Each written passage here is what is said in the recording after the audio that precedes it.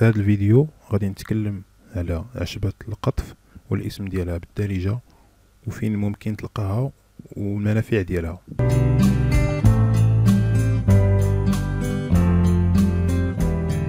السلام عليكم ورحمة الله وبركاته. اليوم غادي نتكلم لكم على عشبة مهمة بزاف اللي هي عشبة القطف. القطف كيتسمى بالدارجة باسم أرسم وهذا الاسم هذا هو اسم أمازيغي. وكتسمى كذلك آه، بالقطف. القطف. وكاين فيها جوج أنواع. واحد النوع سام وواحد النوع غير سام. النوع السام كيتسمى بالأمازيغية أرمس نيلغمان. كتعني القطف ديال الجمال. كيأكلوه الجمال بزاف. وهذا النوع كيقولوا ممنوع أنه يتناولو الإنسان. وفي الجزائر كيتسمى القطف أو السرقم. القطف أو السرقم فين كيتواجد هذا القطف القطف. فين كيتواجد في المغرب. وهنا بعض الصور ديال القطف صور من المغرب. هذه نبتة القطف.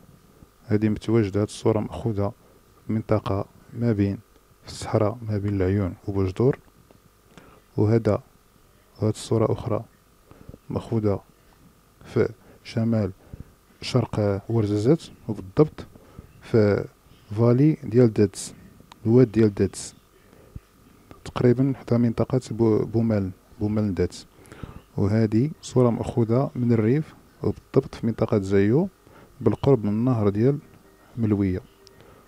وهنايا كذلك مأخوذة بقرب نهر ملوية بمنطقة ميسور إقليم بولمان.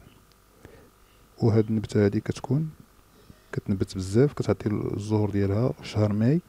حتى لأكتوبر من شهر خمسة حتى لشهر أكتوبر. وهادي كتواجد بزاف كتواجد في المنطقة اللي فيها الرملة وفيها الحجر الحجر وكتكون جنب الواد. نبتة القطف فيها عندها بزاف ديال الأسماء والمسميات في الكتب العربية وفيها كي وكينقسم لجوج أس... جوج أنواع.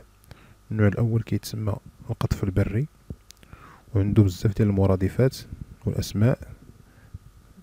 هذا القطف البري كيتسمى كذلك آه، البقلة الذهبية وكيتسمى مرمق وكيتسمى سريج وكيتسمى بقلة الروم وكيتسمى ريحان يماني كيتسمى خوشان وكيتسمى الأسفناخ الرومي وكيتسمى رجل الجراد وكيتسمى لملم. وبالفرنسية هاد القطف البري. كيتسمى بالفرنسية arroche ولا كيتسمى bonne dame. bonne dame ولا belle dame. وبالإنجليزية كيتسمى orache ولا كيتسمى mountain spinach.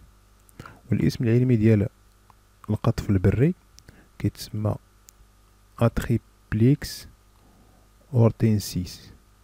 والنوع الثاني كيتسمى بالقطف البحري.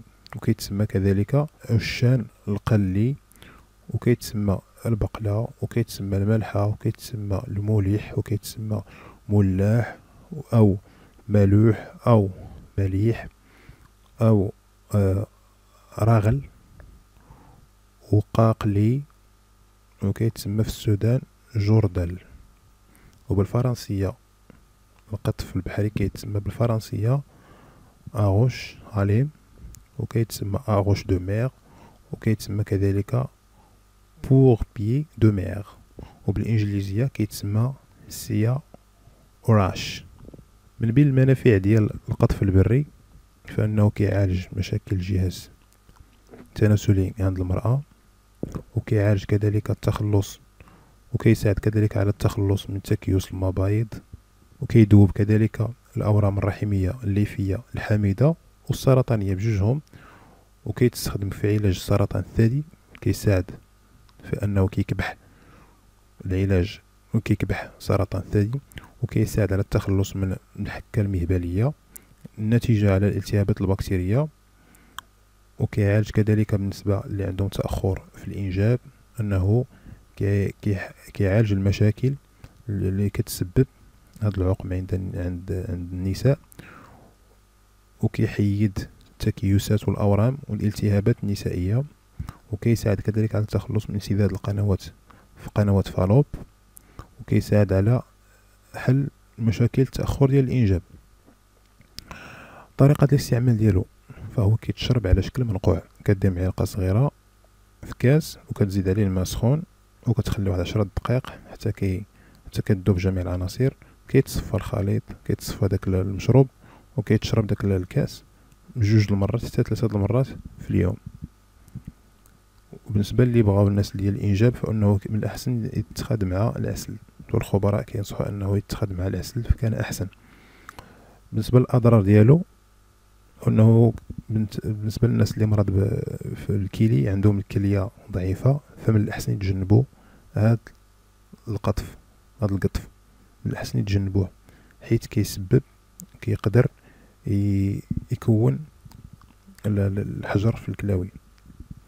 وكذلك من الأحسن النساء الحوامل والرضع والمرضعات أنهم يتجنبوا. العيالات اللي كيرضعوا العيالات اللي حملات أنهم من الأحسن يتجنبوا هاد العشبة هادي. إذا كانوا هادو هما بعض النصائح على عشبة القطف. كنتمنى أنكم تكونوا استفدتوا معنا. أه ما تنسوش الاشتراك في القناة والضغط على زر جيم إلى عجبكم هذا الفيديو هذا. ونتشوفوا في فيديو جاي إن شاء الله.